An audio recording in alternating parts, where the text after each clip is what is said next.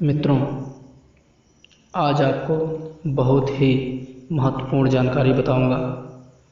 आज की इस वीडियो में मैं सर्वेश मौर्य आपको बहुत ही बड़ी जानकारी बताने वाला हूँ। जानकारी किस विषय पर वाराणसी का लाट भैरव एक अशोक स्तंभ इस विषय पर आज यह वीडियो बना रहा हूँ। और पूरी जानकारी के लिए आप लोग यह वीडियो पूरा देखिए। वाराणसी का लाट भैरव एक अशोक स्तंभ था। भारतीय लिपियों की कहानी, राजकमल प्रकाशन। गुड़ाकार मूल्य पृष्ठ संख्या सैंतीस 2010 लाट भैरव अशोक स्तंभ कैसे? इसके बारे में भी आपको विस्तार से बताऊँगा। चीनी यात्री ह्वेनसांग ने सातवीं सदी में भारत की यात्रा की। वे बनारस भी गए। बनारस यात्रा का पूरा विवरण उनकी पुस्तक के सातवें अध्याय में है। उन्होंने लिखा है कि वरना नदी के पश्चिमी भाग में अशोक मौर्य का बनाया हुआ सौ फीट ऊँचा स्तूप है। स्तूप के सामने पत्थर का कांच अर्थात शीशे की भांति चमकीला एक स्तंभ है। अब आते हैं दूसरे पॉइंट पे। विसेंट स्मिथ ने identification of the Ashoka N E of Banaras city डेस्किवेट by Winston 1909 में इस अशोक स्तंभ की पहचान बरना नदी के पश्चिम में स्थित लाट सरैया में मौजूद लाट भैरव के रूप में की।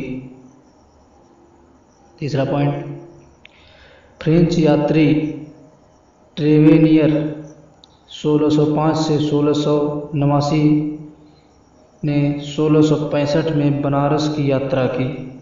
उन्होंने अपनी यात्रा वृतांत के आठवें अध्याय में लिखा है कि यह स्तंभ कोई 32 से 35 फीट ऊँचा है। इसकी मोटाई करीब उतनी है जितनी तीन आदमी के मिले हुए हाथों की गोलाई होती है। और सबसे बड़ी जानकारी आपको यह बताता हूँ, यह अशोक स्तंभ लाट भैरव में कैसे परिवर्तित हुआ? जी हाँ। तो सुनिए, कालांतर में सन 1809 के एक दंगे में इस स्तंभ के टुकड़े टुकड़े हो गए। जी हाँ सन 1809 में। एक बार फिर से सुन लीजिए। कालांतर में सन 1809 के एक दंगे में इस स्तंभ के टुकड़े टुकड़े हो गए। इस घटना का विवरण हमें फील रॉबिसन के एक संग्रह 1865 से प्राप्त होता है। बाद में टूटे हुए स्तंभ को ताम्र कवच में मढ़वा दिया गया, जिसे आज हम लाट भैरव के नाम से जानते हैं। और लाट भैरव अशोक स्तंभ है, अर्थात मौर्य स्तंभ है, या कोई लाट भैरव वैरव नहीं है। आप लोग को भरमाया जा रहा है। इसीलिए आपको कहता हूँ कि थोड़ा जानकारी कीजिए, परंतु सही जानकारी कीजिए। आप लोग भ्रम में ना पड़िए।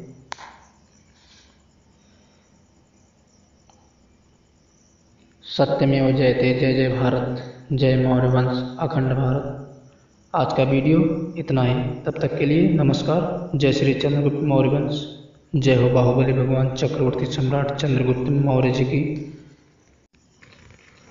मेरे प्रिय दर्शकों दर्शकों दर्शकों मित्रों मित्रों मित्रों मित्रों मित्रों आप लोग को बहुत बहुत धन्यवाद। धन्यवाद। धन्यवाद हृदय से आभार व्यक्त करता हूँ पूरा वीडियो देखने के लिए। और आप लोगों से विनम्र निवेदन है कि यह जानकारी जानकारी ज़्यादा से ज़्यादा शेयर कीजिए। कीजिए। भारत के हर एक कोने कोने में पहुंचाइए। सबको सही जानकारी से अवगत कराइए ताकि हर एक मौर्यवंशी जागरूक हो सके। और हाँ और नए श्रोताओं से विनम्र निवेदन निवेदन निवेदन कि कि कि कि आप लोग आप लोग आप लोग हमारे इस YouTube channel channel channel channel Maurya एक शासक परिवार परिवार। परिवार को सब्सक्राइब कीजिए सब्सक्राइब बिल्कुल फ्री है कोई पैसा नहीं लगेगा।